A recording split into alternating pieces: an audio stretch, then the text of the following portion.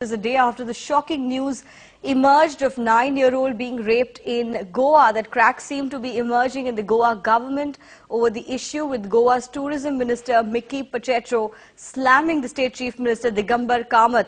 Now he's actually said that the high command should take action against those who cannot handle their portfolios. And Pacheco has also added that he has been asking now for a meeting between the union home minister and the tourism minister, but the chief minister Kamath has not been responding. So that's our top story that we are tracking uh, at this hour. And just a quick recap, it's a day where shocking news of the rape of a nine-year-old has emerged.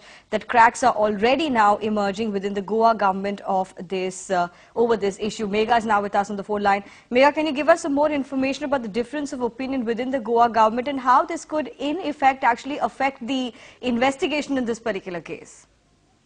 Let me tell you that, you know, as far as this particular incident is concerned, the recent one wherein this minor uh, Russian girl has been raped, uh, this is the first official uh, version, this is the first official reaction to the incident that we are uh, hearing now, and that too, it is not completely in line with what the government would want to this is a statement made by the tourism minister, Mr. Mickey Pacheco, and we just we were speaking with his office, and what we're being told is that uh, uh, Mr. Pacheco has been pretty worried about the increased incidence of sexual assault uh, on tourists in Goa, and he, he has tried to take up this matter with the chief minister not once but several times.